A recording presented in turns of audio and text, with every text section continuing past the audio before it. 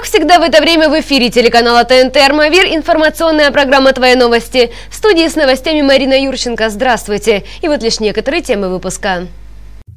Дорожные пробки. Движение в районе Ефремовского моста было парализовано из-за ремонтных работ.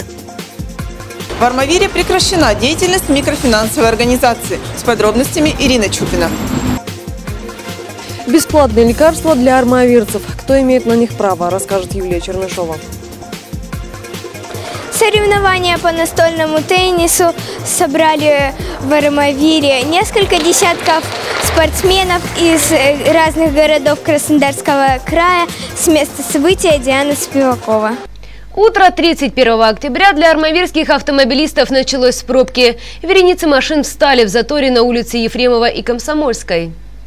Эти магистрали автолюбители использовали для объездного пути, так как движение транспорта по четной стороне улицы Роза-Люксембург от Ефремова до Свердлова оказалось невозможным. Там начались ремонтные работы водопровода. Коммунальные службы приносят извинения за временные неудобства. На данный момент все необходимые дорожные знаки установлены. Движение нужно осуществлять строго по ним. Работы по замене аварийного участка системы водоснабжения будут проводиться с 31 октября по 2 ноября. Водителям предлагается объезжать этот участок от улицы Ефремова Кириллова по улице Комсомольской с поворотом налево на улицу Карла Маркса.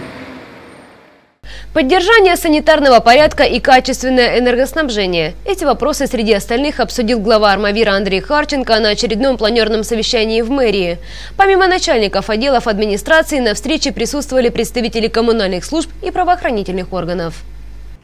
Жилищно-коммунальное хозяйство – одно из наиболее объемных и обсуждаемых направлений деятельности администрации. Ему уделяют внимание почти на каждом планерном совещании. В этот раз градоначальник напомнил коммунальным службам о необходимости своевременной опиловки деревьев, которые находятся в опасной близости к линиям электропередач. И так как эта работа требует обесточивания проводов, то ее необходимо провести как можно скорее. Поэтому требую чтобы эти работы были закончены 1 декабря, мне не волнует, сами вы это будете делать, кого-то нанимать будете. Сегодня доведены средства. Самое главное, никто не знает, сколько там еще раз у нас ветер подует, а мы в осень заходим, у нас он постоянно дует. И еще раз ждать, чтобы где-то свет выключался, но это неправильно, неэффективно. Поэтому 1 декабря все должно быть закончено.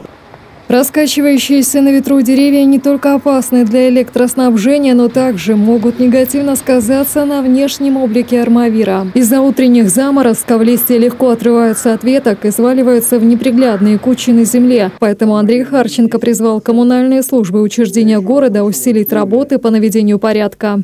Поэтому я просил э, и коммунальные предприятия, озеленитель активизировать э, работы по скверам, паркам. Во-первых, очень много, присаживайтесь, веток палок нападало, но и очень много листвы, которую нужно убирать. То же самое по предприятию Армавир Гуртранс, в целом по управлению ЖКХ, ну и в целом э, без напоминания каждая пятница, субботник по уборке листвы. Также на повестке дня стояли отчеты отдела по обращению граждан и финансового управления о проведенной работе в этом году. Затем собравшиеся обсудили ряд внутренних вопросов. Марина Бартинева, Дмитрий Живетьев, Александр Пензев, служба новостей Армавира. Прокуратура Армавира запрещена деятельность микрофинансовой организации по предоставлению потребительских займов. Гражданин, оказывающий данные услуги, не имел соответствующего разрешения Центрального банка России. Ирина Чупина с подробностями ходе проверки организаций, осуществляющих в городе деятельность по предоставлению потребительских займов, прокуратурой Армавира были выявлены нарушения. Индивидуальный предприниматель из Кияев э, осуществлял деятельность по предоставлению потребительских кредитов. Э, вышли, проверили и установили, что он не имел разрешения Центробанка, при том, что Центральный банк по отношению к таким организациям является контролирующей организацией, ведет их реестр и выдает соответствующее разрешение. Э, по нашей инициативе индивидуальный предприниматель привлечен к административной ответственности. по статье 14.56 Кодекса об административных правонарушениях ему назначен штраф в размере 20 тысяч рублей. Кроме того, в суд было направлено заявление о запрете оказывать услуги по предоставлению займов населению. Таким образом, деятельность индивидуального предпринимателя была запрещена. Однако на данное решение была подана апелляция. Предприниматель не согласился, обжаловал в краевой суд. Вместе с тем определением э, апелляционной инстанции Краснодарского краевого суда решение суда оставлено в силе и э, деятельность предпринимателя признана незаконной. Ирина Чупина, Александр Жирилеев, служба новостей Армавира. Военнослужащие, онкологические больные, страдающие туберкулезом, астмой, ВИЧ-инфекцией, дистрофией, диабетом. Всех этих людей объединяет общее право на получение бесплатных лекарств.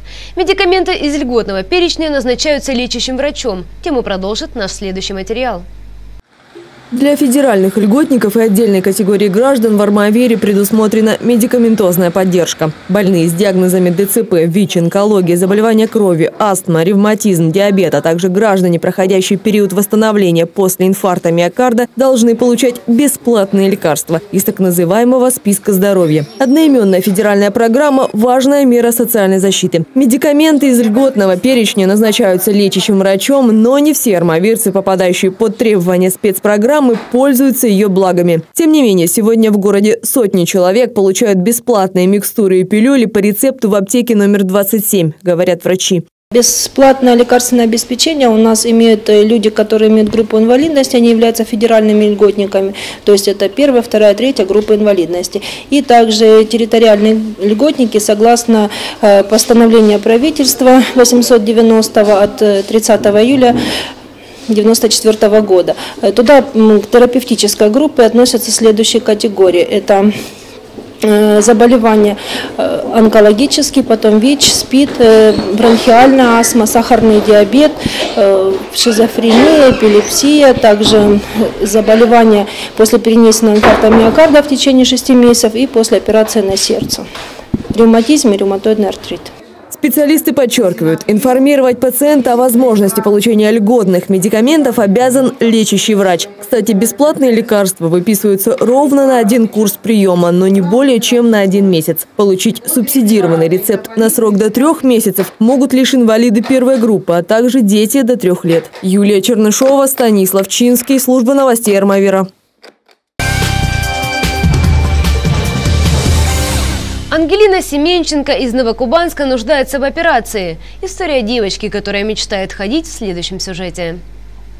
Это Ангелина, ей 10 лет. Она очень любит учиться, читать стихи и играть с животными. Ангелина общительный и добрый ребенок, вот только дружить ей сейчас практически не с кем, так как все время она проводит дома. Рисуем, пишем, читаем, вышиваем телек смотрим. Мы занимаемся каждый день. И мама со мной занимается, и учителя. У меня есть русский, математика, чтение, английский. Я учусь. Но друзей у меня нету. У Ангелины ДЦП, спастическая диплегия, ребенок не может ходить, плюс ко всему ее мучают головные боли. Воспитывает девочку ее мама Наталья, она все время посвящает дочери. Несмотря на прогнозы врачей, в их маленькой семье никогда не сдавались, и вот впереди замаячила надежда. Сейчас у нас главная цель попасть в Питер.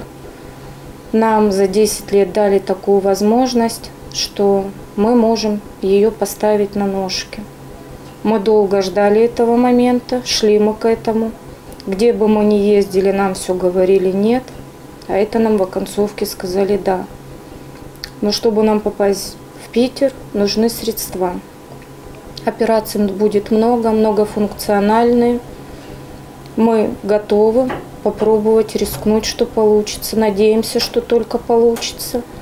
Все, конечно, большую часть упирается в деньги.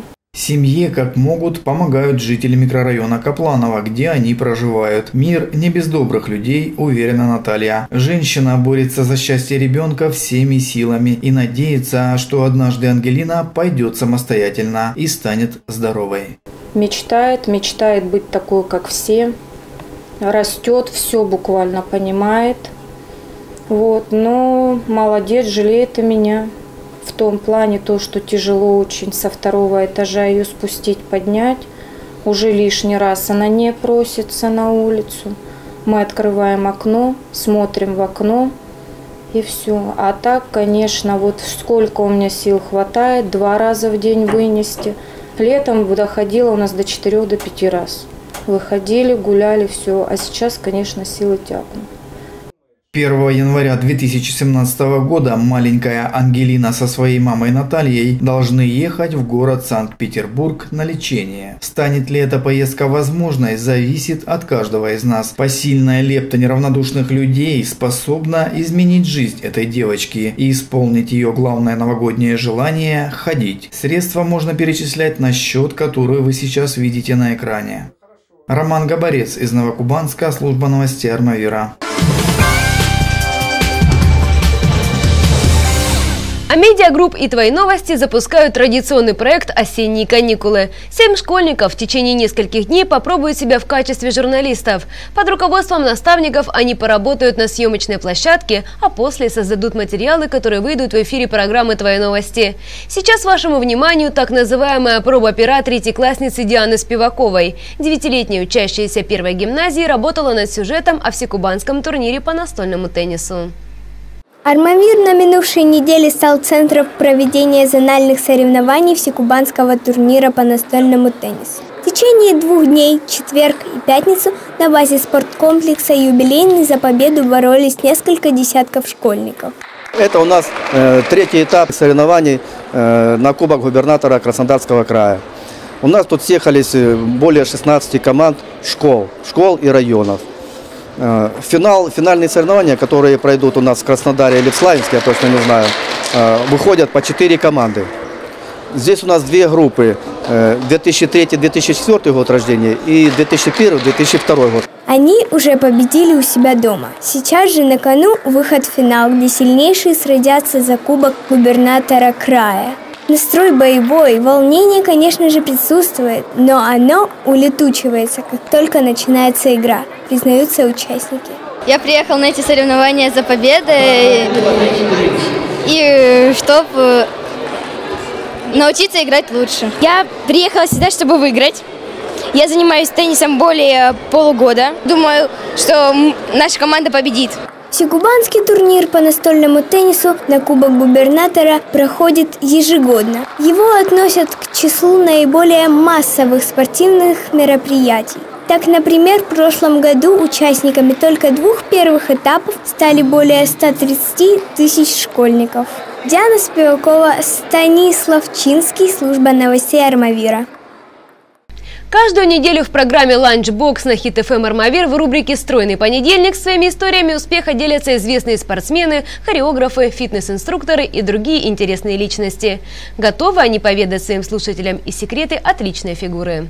31 октября героями рубрики «Стройный понедельник» стали призер чемпионата мира по самбо Эдуард Кургинян и его тренер Рудольф Бабаян. Они рассказали слушателям о спортивных победах и достижениях, а также о правильной мотивации в достижении целей. Слушайте рубрику «Стройный понедельник» в рамках программы «Ланчбокс» на Хит ФМ «Армавир» и будьте всегда в хорошей форме. А вопросы, предложения и пожелания по-прежнему принимаются по телефону 30301 в прямом эфире с 13 до 14 часов часов. На этом у меня все. Далее информация о погоде на ближайшие сутки. В студии с новостями была Марина Юрченко. До скорой встречи. Одежда ведущей предоставлена магазином женской одежды «Гюзела Классик».